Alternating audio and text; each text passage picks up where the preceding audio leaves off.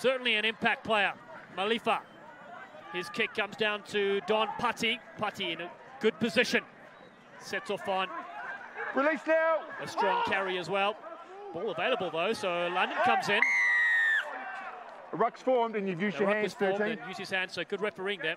Yeah, you heard Scott Green Clear, clear up. get Robbie Petzer 13, with a hand in, with a hand in that ruck, and that was the penalty. They had that ball won, it looked like, but when he got that ball batted it back with his hand, that's what referee Green called him for.